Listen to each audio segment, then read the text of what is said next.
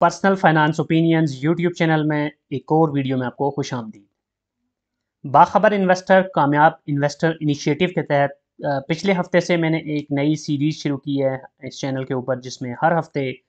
एक वीडियो बनाई जाती है फ्राइडे या सैटरडे को, जिसमें पिछला जो एक हफ़्ता गुजरा होता है, पिछले जो पाँच दिन गुजरे होते हैं ट्रेडिंग के उन दिनों की जितनी भी इंपॉर्टेंट अनाउंसमेंट्स होती हैं या इंपॉर्टेंट मटेरियल इन्फॉर्मेशन होती है और कंपनीज़ के हवाले से वो सारी इन्फॉर्मेशन जो आपके लिए यूज़फुल है एज एन इन्वेस्टर वो इस वीडियो में आपके साथ डिस्कस की जाती है। साथ साथ वो दीगर जो ख़बरें जो कि स्टॉक मार्केट को डायरेक्टली या इनडायरेक्टली इम्पैक्ट कर रही होती हैं, जैसे रुपी और डॉलर की जो प्राइस कंपैरिजन है, जो प्राइस अप्रिसिएशन या डेप्रिसिएशन है और स्टेट बैंक के हवाले से और दीगर जो मालियाती इदारे हैं उनके हवाले से जो इम्पोर्टेंट न्यूज़ होती हैं वो भी इस वीडियो में आपके साथ डिस्कस की जाती हैं और एट द एंड जो वीकली एक एनालिसिस होता है स्टॉक मार्केट का वो भी ब्रीफली आपके साथ डिस्कस किया जाता है। इस हफ़्ते की जो इंपॉर्टेंट खबरें मटेरियल इन्फॉर्मेशन के ज़ुमरे में हैं उसमें जो पहली खबर आपके साथ शेयर की, की जा रही है वो है कि लकी सीमेंट ने अपने कराची प्लांट पे अट्ठाईस मेगावाट कैपेसिटी का एक कैप्टिव विंड प्रोजेक्ट शुरू करने का फैसला किया है। और उनकी जो मटेरियल इन्फॉर्मेशन है उसके मुताबिक ये जो है इसको, इसकी तकमील फिनंशियल ईयर 2024 में हो जाएगी। इसके अलावा कंपनी ने 6.3 मेगावाट का सोलर प्रोजेक्ट कराची में जो उनका प्लांट है उसमें, जबकि 2.5 मेगावाट का सोलर प्रोजेक्ट पीजो प्लांट पे शुरू करने का फैसला किया है। इससे पहले भी इस कंपनी के पास कराची में 25 मेगावाट जबकि पीजो में 34 मेगावाट का सोलर प्रोजेक्ट मौजूद है तो ये उसकी एक इन्हेंसमेंट है। और इस पे तकरीबन 11 अरब रुपए की लागत आएगी। ये कंपनी पिछले काफ़ी अरसे से एक्सपेंशन ग्रोथ और इस तरह की जो ऑपरेशनल एक्सीलेंस हैं, उसके मोड में है और यही वजह कि इस साल तो इसने एक अच्छा डिविडेंड भी दे दिया। लेकिन इससे पहले कई सालों में बावजूद अच्छी परफॉर्मेंस के ये कंपनी चूँकि अपनी ग्रोथ पे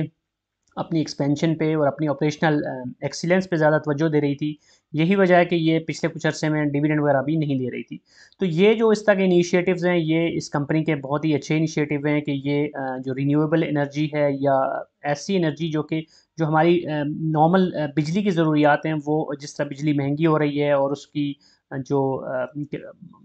जो मैसर है बिजली मुख्तु कंपनीज़ को, वो भी मुसलसल कम होती जा रही है। तो ऐसी सूरत हाल में वही कंपनीज़ प्रॉस्पर कर सकती हैं, वही कामयाब हो सकती हैं, जो कि, जो नॉन कन्वेंशनल दीगर जो सोर्सेज हैं बिजली के, उसकी तरफ़ अपना ध्यान दें। तो इस लिहाज से देखा जाए तो लकी सीमेंट बहुत ही अच्छी डायरेक्शन में जा रहा है और इससे इनकी एनर्जी की कंजम जो एनर्जी की बचत होगी और उसकी वजह से इनकी जो जितने भी बिज़नेस है, उसके कॉस्ट इफ़ेक्टिवनेस में इजाफा होगा। तो इसको इंग्लिश में अगर आप पढ़ना चाहते हैं तो यहाँ पर पूरा मैंने उसका स्क्रीनशॉट लगा दिया है, जो इन्होंने मटेरियल इन्फॉर्मेशन दी है और उसमें बेसिकली यही सारा डिटेल में बताया गया, जो कि मैंने आप ऑलरेडी आपको एक्सप्लेन कर दिया। अब जो दूसरी खबर है, वो बड़ी इंपॉर्टेंट खबर है। आज के दिन इस खबर के बाद लॉटे केमिकल का हमने देखा कि अपर लॉक पे चला गया। सेकंड हाफ़ में ये खबर आई कि केमिकल सेक्टर की जो कंपनी है लॉटे केमिकल उसने अपनी मटेरियल इन्फॉर्मेशन में अनाउंस किया है कि इस कंपनी के 75.01 परसेंट जो शेयर्स हैं वो Lucky Core Ventures Private Limited ने ख़रीदने का इरादा ज़ाहिर किया है। और इसके साथ, इस 75.01 परसेंट के तहत जितने शेयर्स बनते हैं वो one billion one hundred thirty five million eight hundred sixty thousand one hundred and five total shares बनते हैं, जो कि इस कंपनी के लकी कोर वेंचर्स लेने का इरादा रखती है। और ये जो Lucky Core Ventures Private Limited है, ये एल सी आई लकी जो L C I company already Lucky Group की स्टॉक मार्केट में एक लिस्टेड कंपनी है उसकी ये सब्सिडरी यानी कि एक जेली कंपनी है। तो आगे इन्होंने डिटेल में सारी चीज़ें मेंशन की हैं और उसमें इंपॉर्टेंट चीज़ ये है कि the acquirer is currently wholly owned subsidiary of Lucky Core Industries Limited यानी एल की सब्सिडरी है, जैसे मैंने बताया आपको। और आगे इन्होंने मजीद लिखा कि इट हैज़ बीन ये जो Lucky Core Ventures Private Limited है, इसके बनाने का मकसद यही था कि it has been incorporated to act as a special purpose vehicle through which L C I intends to carry out and promote its prospective growth projects तो इस तरह के जो ग्रोथ प्रोजेक्ट्स होते हैं एक्विजिशन वगैरह के, उसके लिए इन्होंने ये एक प्राइवेट सब्सिडरी अपनी बनाई हुई है तो उसके थ्रू ये सारी इस तरह की ट्रांजेक्शन कर रहे होते हैं। लेकिन आगे इन्होंने मजीद बताया कि going forward up to 49 percent share of L C V may be collectively acquired by Yunus Textile Mills Limited Y T M L Lucky Textile Mills Limited and Lucky Cement Limited यानी कि आप ये जो shares इसके लोटा uh, chemical uh, के acquire करेगा Lucky Core Ventures Private Limited तो फिर सब्सिक्वेंटली उस कंपनी के जो उस शेयर्स होंगे उसका 49 परसेंट जॉइंटली ये तीनों कंपनीज़ ले लेंगी Y T M L L T M L और एल सी एल अब कितना कितना शेयर्स लेती हैं, ये चीज़ अभी यहाँ पर डिसाइड या डिस्कस नहीं की गई। तो बहरहाल ये ख़बर, ये मई 2023 में पहले ये एक मटेरियल इन्फॉर्मेशन आई थी, जिसमें इस इंटरेस्ट के हवाले से कि ये कंपनी इसको ख़रीदने का इरादा रखती है। ये इंटरेस्ट ऑलरेडी शो किया गया था। तो अब उसी की अमेंडमेंट या उसी की एक्सटेंशन या उसी की फर्दर डिटेल्स हैं, जो आज शेयर की गई हैं। तो अपेरेंटली इन्वेस्टर्स ने इसको पॉजिटिवली लिया है। लकी जो है, एक अच्छा ग्रुप है और एलसीआई एक मशहूर कंपनी है, अच्छी कंपनी है स्ट्रॉन्ग कंपनी है। तो अगर वो इसको अक्वायर करती है तो डेफिनेटली ये एक विन विन सिचुएशन होगी और वो लोग जो कि शेयर होल्डर्स हैं लॉटे केमिकल के, वो भी इससे फ़ायदा उठाएँगे। अब जो अगली खबर है, वो the organic meat company limited TOM C के हवाले से है। कुछ दिन पहले खबर आई थी कि यूएई ने 10 अक्टूबर 2023 से जो सी राउट से पाकिस्तान से गोश्त जा रहा होता है फ्रेश चिल्ड गोश्त उसके ऊपर बैन लगा दिए। और वजह उसकी ये बताई गई है कि कोई एक पाकिस्तानी एक्सपोर्ट कंपनी है टॉम सीएल के मुताबिक ये जो कंपनी है वो टॉम सीएल नहीं, बल्कि कोई दूसरी कंपनी है जिसकी तरफ़ से गैर मैारी गोश्त भेजा गया एक्सपोर्ट किया गया और इसकी वजह से यू ने ये एक स्ट्रिक्ट स्टेप उठाया। लेकिन टॉम सीएल ने इस मटीरियल इन्फॉर्मेशन के ज़रिए ये बताने की कोशिश की है कि ये जो डिसीज़न है यू का, उसका टॉम सीएल की प्रॉफिटेबिलिटी पे या उनकी जो मार्जिन है, उसके ऊपर ऐसा कोई भी नेगेटिव इम्पैक्ट नहीं पड़ेगा। क्योंकि टॉम सीएल के पास फ्रोज़न और जो वैक्यूम पैक्ड फ्रेश गोश्त है, उसको सप्लाई करने के लिए वो सलाहियत मौजूद है जो कि रिक्वायर्ड है। क्योंकि इंपॉर्टेंट ये है कि जो एयर राउट के थ्रू गोश्त जा रहा है, उसके ऊपर कोई बैन नहीं है और जो सी राउट से जा रहा है, उसके लिए कंडीशन ये रखी गई है कि वैक्यूम पैक्ड होना चाहिए या फिर फ्रेश नहीं, बल्कि फ्रोज़न तो ये दोनों सिचुए जो कंडीशंस हैं, वो ऑलरेडी फुलफ़िल हो रही हैं टॉम सीएल के केस में. इसलिए टॉम सीएल ने ये मटेरियल इन्फॉर्मेशन शेयर की थी कि ये जो ख़बर है, इसका नेगेटिव इम्पैक्ट टॉम सीएल पे नहीं पड़ेगा. अब कुछ दीगर मुतफरक छोटी मोटी ख़बरें जो हैं, इससे रेलेवेंट उनको डिस्कस किया जाता है, जिसमें पहली खबर यह है कि स्टेट बैंक ने रेमिटेंस की मद में कैश इनफ्लोज को बढ़ाने के लिए जो बैंक्स या मालियाती इदारे हैं, उनके इंसेंटिव में तीन गुना इजाफा कर दिया है। तो स्टेट बैंक की पूरी कोशिश है कि किसी भी तरीके से जो रेमिटेंसेज हैं, उनके इन्फ्लोज को लीगल चैनल के ज़रिए अट्रैक्ट करने के लिए स्टेप्स उठाए जाएँ। इस सिलसिले में, जो ऑलरेडी पिछली गवर्नमेंट के दौर में स्टेप था, सोनी धरती रेमिटेंस प्रोग्राम का, उसके हवाले से भी कुछ नए इन्होंने ऐलान किए थे मज़ीद कुछ उसके अंदर स्कीम्स ऐड करने के हवाले से। साथ साथ जो नया पाकिस्तान सर्टिफिकेट्स हैं, उसकी आगे चल के हम बात करेंगे, उसके जो प्रॉफिट्स हैं, उसके अंदर लोगों को अट्रैक्ट करने की कोशिश की गई है। और पूरी कोशिश की जा रही है कि पाकिस्तान को जो डॉलर्स का इन्फ्लो आ रहा है रेमिटेंस की मद में उसको बढ़ाया जाए। तो ये ख़बर उसी सिलसिले में है। तो अब इससे रेलेवेंट दूसरी खबर ये है कि नया पाकिस्तान सर्टिफिकेट्स जो कि गुजशत दौर हुकूमत में, इमरान खान साहब की हुकूमत के दौर में स्टेट बैंक का बहुत ही ज़बरदस्त इनिशिएटिव था और उसके ज़रिए ख़ासतौर पे जो रोशन डिजिटल अकाउंट एक ज़बरदस्त इनिशिएटिव था, फिर उसके अंडर नया पाकिस्तान सर्टिफिकेट और इस तरह की जो इन्वेस्टमेंट स्कीम्स थी तो उसमें जो प्रॉफिट मार्जिन थे उसको अब मज़ीद बढ़ा दिया गया है। फॉर एग्ज़ाम्पल जो थ्री मंथ्स में डॉलर टर्म में था, वो सात परसेंट था, वो आठ परसेंट से ऊपर चला गया है। तो एग्जैक्ट डिटेल्स आप बैंक की, किसी भी बैंक की वेबसाइट पे जाके देख सकते हैं। ओवरसीज़ पाकिस्तानीज़ को अट्रैक्ट किया जा रहा है कि वो नया पाकिस्तान सर्टिफिकेट्स के अंदर इन्वेस्ट करें, जिसमें उनको एक अच्छा प्रॉफिट मार्जिन मिल रहा है रूबी टर्म के अंदर भी डॉलर्स में भी पाउंड्स में भी और यूरो में भी। तो इसमें इंपॉर्टेंट ये है कि अभी इन्होंने फ़िलहाल नया पाकिस्तान सर्टिफिकेट प्रॉफिट्स के इंक्रीज़ का ऐलान किया है। तो आई होप के थोड़े ही अरसे में इस्लामिक नया पाकिस्तान सर्टिफिकेट जो इनका शरिया कंप्लाइंट वर्जन है, उसके प्रॉफिट्स में भी इजाफे के हवाले से ख़बर आएगी तो फिर वो एक मज़ीद अट्रैक्शन साबित होगी ओवरसीज़ पाकिस्तानीज़ के लिए। जो अगली इंपॉर्टेंट खबर है, वो ये है कि यूनाइटेड बैंक मीज़ान बैंक के बाद अब बैंक अल हबीब ने भी ऐलान किया कि वो एक अपनी एक्सचेंज कंपनी बना रहे हैं। तो अब जब से एक्सचेंज जो हमारी कन्वेंशनल एक्सचेंज कंपनीज़ थी, उनके हवाले से गवर्नमेंट की तरफ़ से स्ट्रिक्ट एक्शन लिए गए हैं डॉलर्स के को नीचे लाने के लिए तो उसके बाद बैंकिंग सेक्टर की जो बड़े बड़े प्लेयर्स हैं, उन्होंने अपनी अपनी एक्सचेंज कंपनीज़ बनाने के ऐलान करना शुरू कर दिए हैं। तो ये भी एक बेहतर तौर पे जो हमारी एक्सचेंज जितनी भी सर्विसेज़ हैं, उनको स्ट्रीमलाइन करने के लिए और उनको एक बेहतर तरीके से बैंकिंग सेक्टर के कम्प्लीटली अंडर लाने के लिए स्टेप्स उठाए जा रहे हैं। जो अगली खबर है वो ये है कि पाकिस्तान में, स्टेट बैंक ऑफ़ पाकिस्तान में डिजिटल जो बैंकिंग है, उसके हवाले से एक और स्टेप उठाया कि पाँच डिजिटल बैंकों के क्याम की जो है प्रिंसिपल अप्रूवल उन्होंने दे दी है। तो ये मुख्तलिफ़ बैंक्स हैं जिसमें एक जो मशहूर नाम है वो टेलीनार तामीर माइक्रो फाइनेंस बैंक भी है। तो डिजिटल बैंकिंग के बाद आई होप के पाकिस्तान के अंदर जो बैंकिंग की सर्विसेज़ हैं, उसको मज़ीद बेहतर तरीके से जो मौजूदा दौर के या आने वाले दौर के तकाजे उसको, उसके साथ अमहांग करने में एक अहम पेशरफ साबित होगी। अब आगे चल के हम U S D to P K R की जो इस पूरे हफ़्ते के अंदर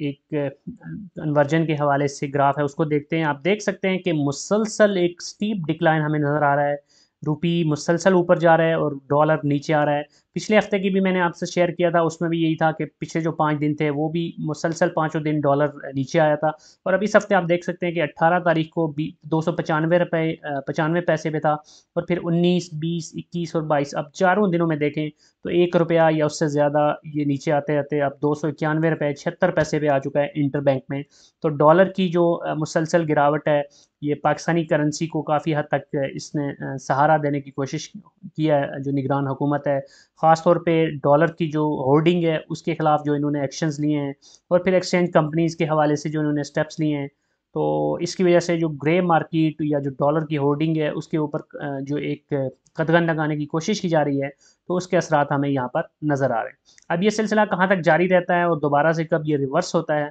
इस बारे में कुछ कहना कबल वक्त होगा, लेकिन ये सारा डिपेंड करेगा मुल्क के हालात पे ओवरऑल इकानमी की कंडीशंस पे गवर्नमेंट के स्टेप्स पे प्लस जो आने वाले दिनों में अब ज़ाहिर है आगे इलेक्शन होंगे, फिर नई गवर्नमेंट आती है किस हद तक पॉलिटिकल स्टेबिलिटी आती है, वो चीज़ भी डिटरमिन करेगी कि डॉलर की फ्यूचर प्राइसेस किस समत में जाएँगी। और साथ साथ ये भी कि अब पाकिस्तान को ज़ाहिर है जो इन्होंने लोन्स लिए हैं, उसकी जो पेमेंट्स री पेमेंट्स करनी होती हैं, उसके ऊपर इंटरेस्ट पे करना होता है तो ये सारे जो रिक्वायरमेंट्स हैं, वो किस हद किस हद तक पाकिस्तान पूरा करने में कामयाब होता है, और आईएमएफ के साथ जो इनकी ऑलरेडी एक स्टैंड बाई एग्रीमेंट है और फ्यूचर में अगर मज़ीद एग्रीमेंट करना है तो उस हवाले से ये सारी चीज़ें क्या डायरेक्शन लेती हैं, वो बहुत ज़्यादा मैटर करेगा U S D to P K R की इस रैली के हवाले से।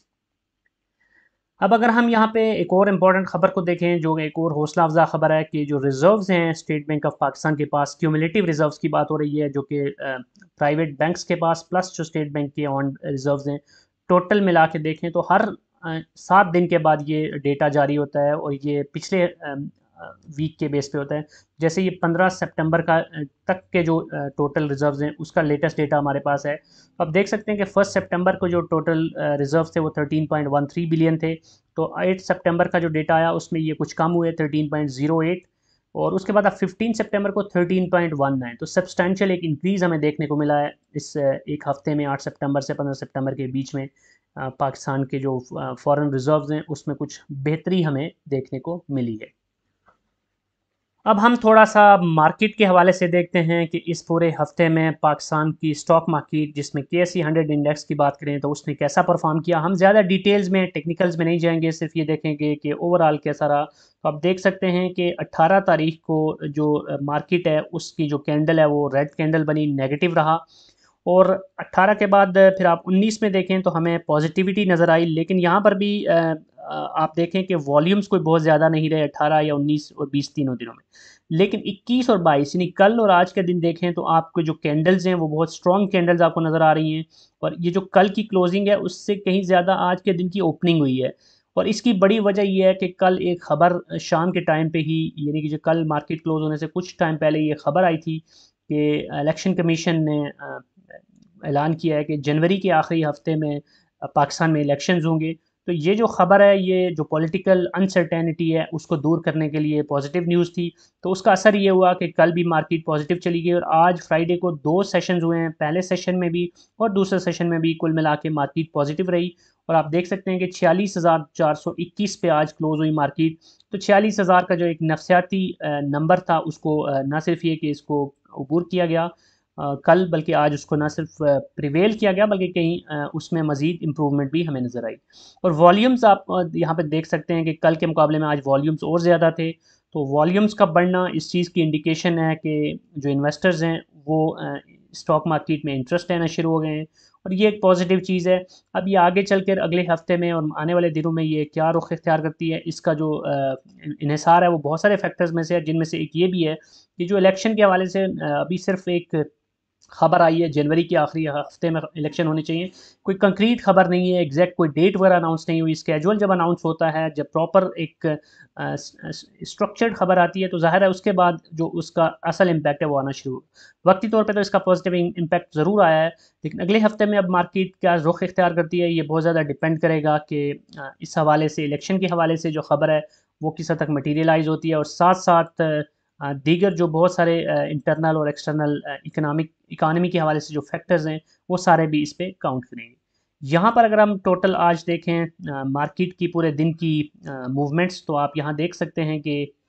सुबह के टाइम जो है ना मार्केट ओपन होने के बाद कुछ नीचे ज़रूर आई थी और छियालीस हज़ार एक सौ सत्तासी का हमें नज़र आ रहा है। जो आज लोवेस्ट था, वो छियालीस हज़ार एक सौ इक्यासी था और हाईएस्ट हमने देखा कि आज के दिन का जो है, वो छियालीस हज़ार पाँच सौ लगा। तो कुल मिला के देखें तो एक अच्छी, आज ओवरऑल मार्केट में हमें एक्टिविटी और हसल एंड बसल देखने को मिला और वी कैन एक्सपेक्ट के आगे चलकर ये मज़ीद बेहतर हो सकता है। और एडवांसर्स की अगर बात करें तो इसमें हौसला अफजा चीज़ ये है कि कुछ बड़ी कंपनीज़ भी आपको नज़र आ रही होंगी। यहाँ पर साजगार इंजीनियरिंग और लॉटे केमिकल ख़ास तौर पे। लॉटे केमिकल के हवाले से ऑलरेडी मैंने बात की थी और साजगार ये दोनों आज अपर लाख में रही हैं। और इसके अलावा भी कुछ मज़ीद कंपनीज़ हैं जिसमें ये इतफाक़ आयरन भी आपको नज़र आ रहा है। और कुछ दीगर कंपनी जैसे पाकिस्तान होटल्स डेवलपर लिमिटेड ये मुसलसल कई रोज़ से ये सर्विसेज़ सेक्टर की कंपनीज़ अच्छा परफॉर्म करती हुई नज़र आ रही हैं।